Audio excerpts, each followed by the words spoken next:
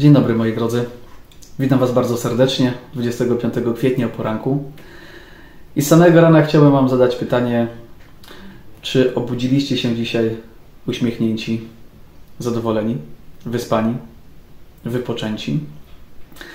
Mam nadzieję, że tak, moi drodzy, ponieważ e, dodatkowo, by wzbudzić w nas jeszcze większy entuzjazm i radość, witam Was e, Bożym Słowem, które chce naszą radość, nasz entuzjazm i nasz uśmiech e, wznieść na inny poziom, na inny level. Słowo Boże z Psalmu trzeciego i z Ewangelii Łukasza z 24 rozdziału czytam ku temu, aby nasza radość była jeszcze pełniejsza. U Pana jest zbawienie, nad ludem Twoim jest błogosławieństwo Twoje, napisał psalmista. A ewangelista Łukasz zapisał: Jezus, podniósłszy ręce swoje, błogosławił ich. Mam nadzieję, moi kochani, że budząc się dzisiaj do 25 dnia kwietnia, macie to odczucie, to przekonanie, macie to uczucie, tę pewność, że Bóg pragnie nam błogosławić. A ten, który jest błogosławiony, ten, który żyje blisko Boga, jest szczęśliwy, jest spokojny, czuje się bezpiecznie.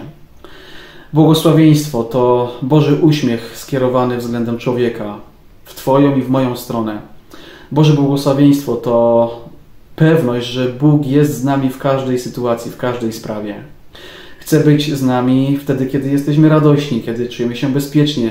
Chce być z nami wtedy, kiedy odczuwamy niepokój. I takie momenty także chce z nami przeżywać, chce z nami dzielić. Pragnie nam błogosławić, byś poczuła, byś poczuł się bezpieczniej, spokojniej, pewniej. Chcę zapewnić się o tym, że jest blisko Ciebie, jest blisko nas, że jest Bogiem, który nas nie opuszcza, że jesteśmy dla Niego wyjątkowi, że jesteśmy dla Niego cenni. Specjalnie na to dzisiejsze rozważanie, moi kochani, przygotowałem sobie pewien krzyż, który na co dzień wisi za mną na ścianie w mojej kancelarii parafialnej. Jest to, moi drodzy, krzyż, który otrzymałem na moje 40 urodziny, jakiś czas już temu, od moich dobrych przyjaciół. Ten krzyż został wykonany z kawałka spalonej więźby kościoła na Górnym Śląsku niczym specjalnym się by nie wyróżniał, gdyby nie to serce w centrum. Ale to serce w centrum tego krzyża, wykonanego z kawałka spalonego drewna, spalonej więźby, spalonego dachu, to serce przypomina nam o tym, że Bóg pragnie nam błogosławić. Że Bóg oddał nam całe swoje serce, abyś Ty, ja czuł, abyśmy czuli się bezpiecznie, abyśmy czuli się pewnie abyśmy wiedzieli, że w Bogu, że w krzyżu zapisana jest nasza nadzieja, nasza radość, nasza przyszłość. Bóg tak bardzo nam pragnie błogosławić, tak bardzo pragnie się nami zaopiekować, że oddał nam swoje serce. Ten krzyż jest wyjątkowy. W dotyku jest niesamowity. Czuć jeszcze to spalone drewno.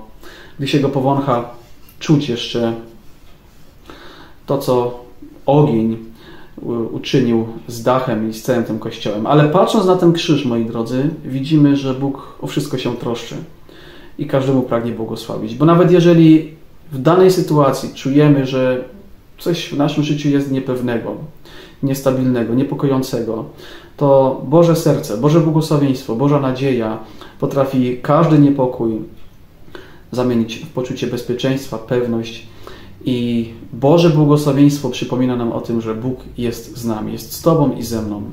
Pomaga, wspiera, rozumie i chce z nami przeżywać każdy dzień, który z łaski otrzymujemy od Niego. A dzisiaj otrzymaliśmy 25 dzień kwietnia, kolejny dzień roku 2024. I życzę Wam tego, moi drodzy, abyśmy odczuwali na co dzień Boże błogosławieństwo. Bo tego Bożego błogosławieństwa życzę Wam, Waszym rodzinom, Waszym ukochanym, Waszym najbliższym. Ale także, moi drodzy, tym Bożym błogosławieństwem dzielmy się z tymi wszystkimi, których spotykamy. Błogosławmy się nawzajem, módlmy się na siebie, za siebie nawzajem. Bądźmy względem siebie szczerzy, uczynni, miłujmy się, słuchajmy i szanujmy. Bo to wszystko, moi kochani, Bóg uczynił w Jezusie Chrystusie ofiarowując nam swoje serce.